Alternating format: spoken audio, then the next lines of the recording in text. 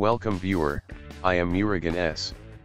This video tutorial describes, how to enable or disable F8 Advanced Boot Options screen in Windows 10. Type CMD in Windows search bar. Right-click Run as Administrator. Click Yes to continue. Type BCD edit space. Slash set, space. Open bracket boot mgr closing bracket.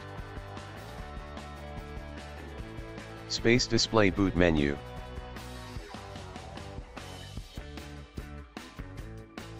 Space yes.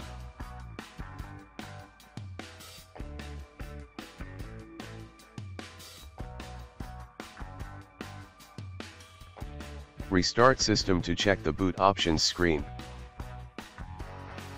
Press F8 key. Press Escape key to start up screen.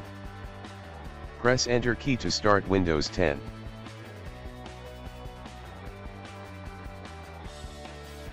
Type CMD in Windows search bar.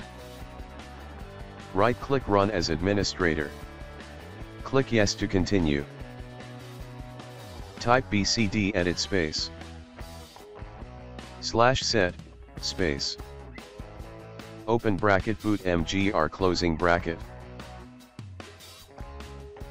Space display boot menu. Space no. F8 advanced option is disabled. I hope this video tutorial helps to you, please like, share and don't forget to subscribe my channel, thank you very much, see you next video.